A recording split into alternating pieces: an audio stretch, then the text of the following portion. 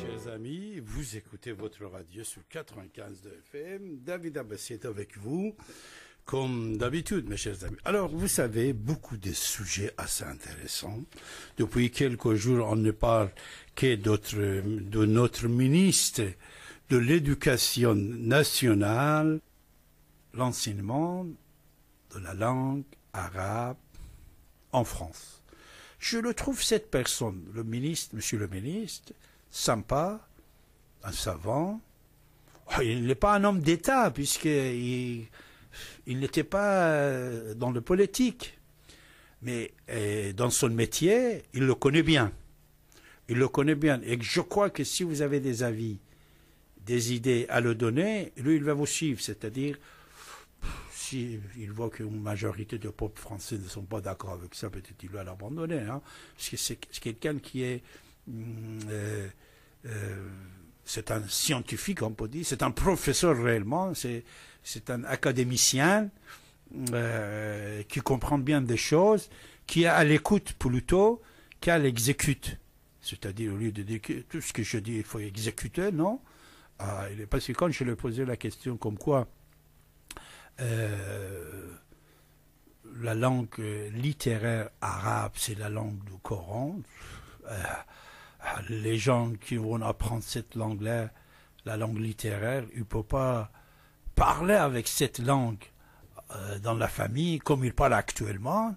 Euh, J'avoue qui, qui, était intéressante cette information pour lui. Enfin, voilà, euh, plusieurs sujets et vous avez la parole. Après tout ça, si vous vous rappelez, il y a déjà quelque temps, on avait parlé ensemble sur la question euh, de l'enseignement de Coran, non, de la langue arabe, de la langue arabe, euh, euh, dans les écoles.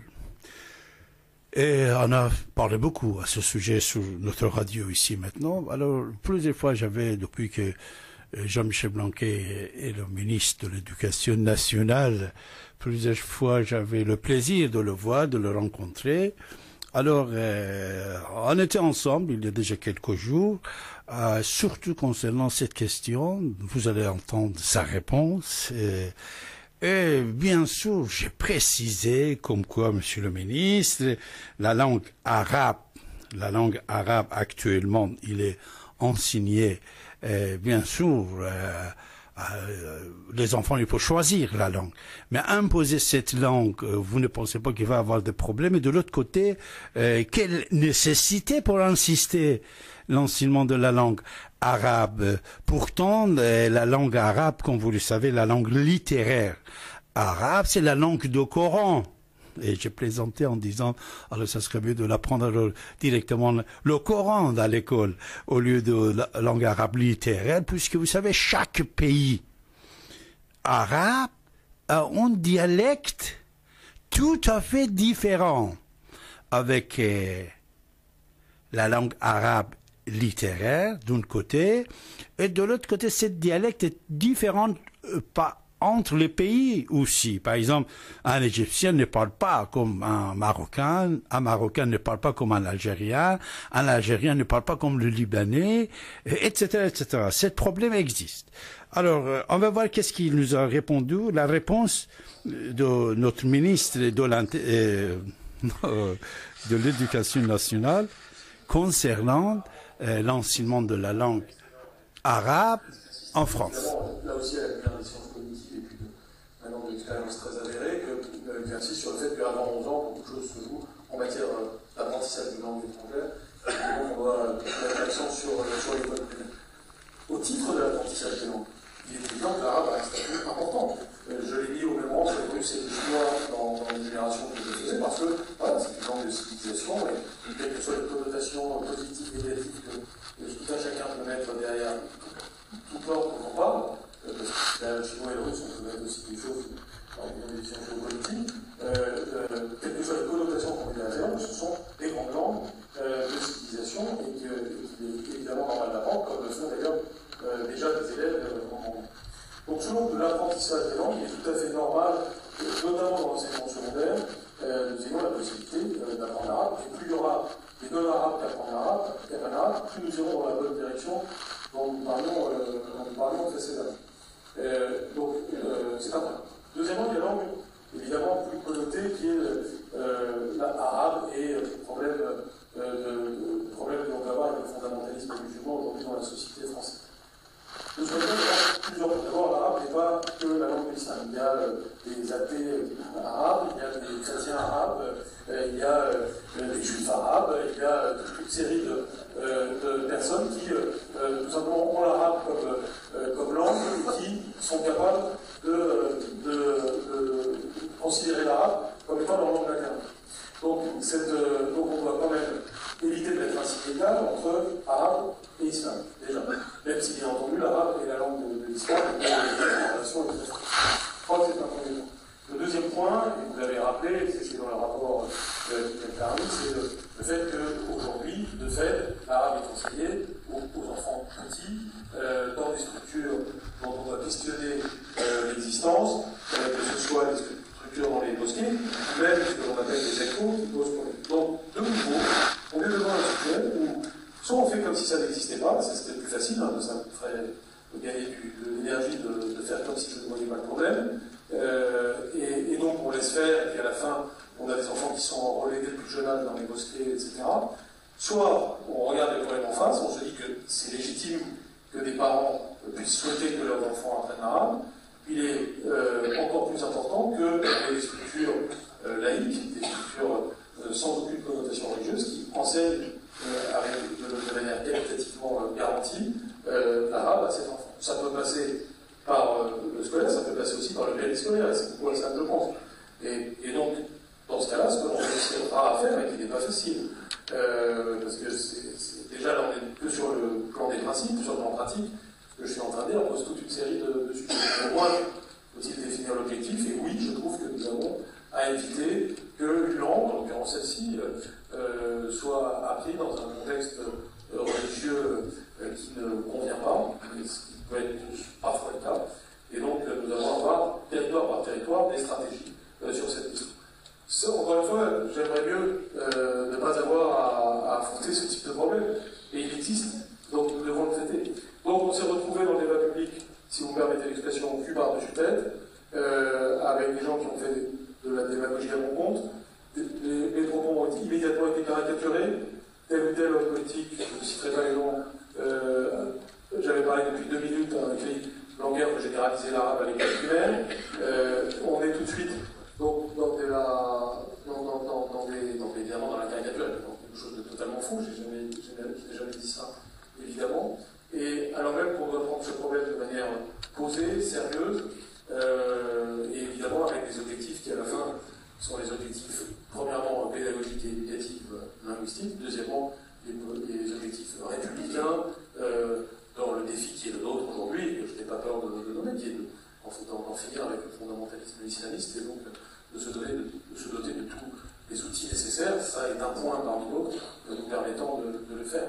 Donc, euh, euh, ça a été très paradoxal pour moi de, recevoir ce type de, critique. Ça vous a étonné Parce que c'est pas étonnant. Vous savez que ce sujet est inflammable. Oui, oui, bien sûr, mais il faut bien à un moment donné euh, dire les choses.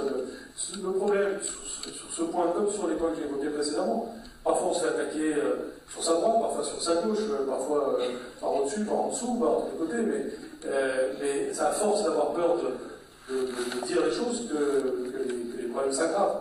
Donc il faut accepter parfois bah, de, prendre le risque de, nommer les choses telles qu'on les voit. Et je ne dis pas d'ailleurs que j'ai forcément raison sur, sur, chaque point, mais en tout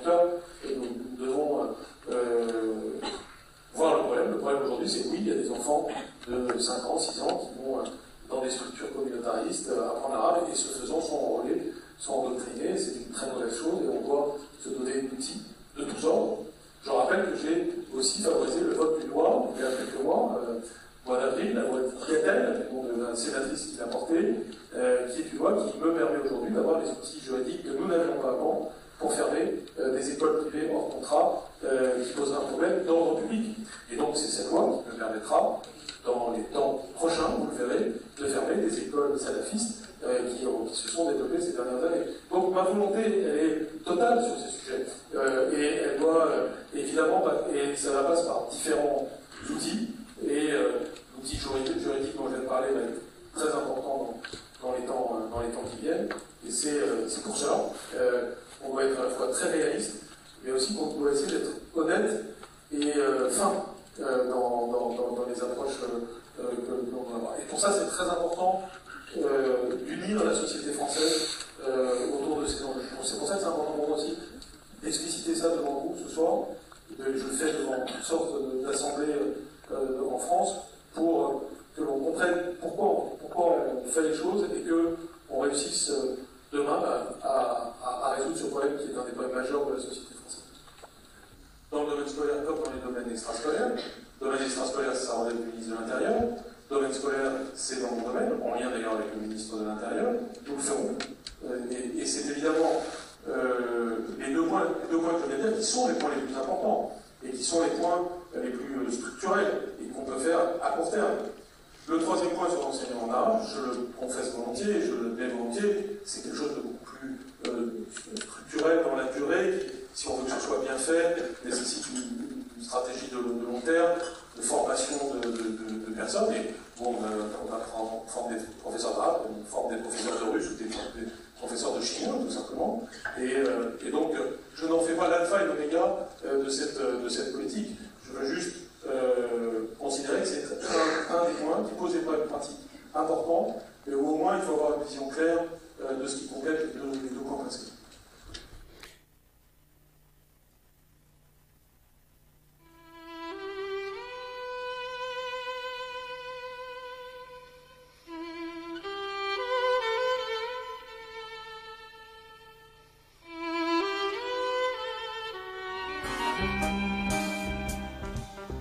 C'était Jean-Michel Blanquet, notre ministre de l'Éducation nationale, mes chers amis. Euh, voilà, vous êtes sur 95 de FM, Radio ici maintenant, et nos émissions, notre émission, ça va continuer. Restez avec nous, s'il vous plaît.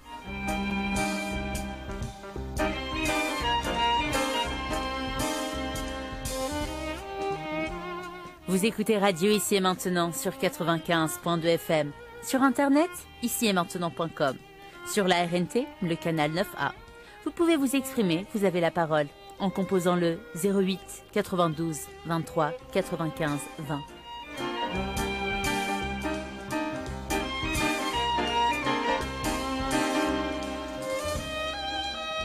David Abbassi, écrivain, historien, philosophe, est avec vous tous les lundis et chaque dernier samedi du mois dès 23h.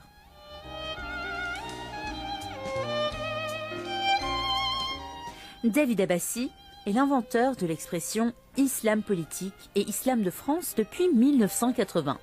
Il a écrit plus de 120 livres, plus de 5000 articles et a réalisé plus de 7000 heures d'émissions radio télévisées en quatre langues.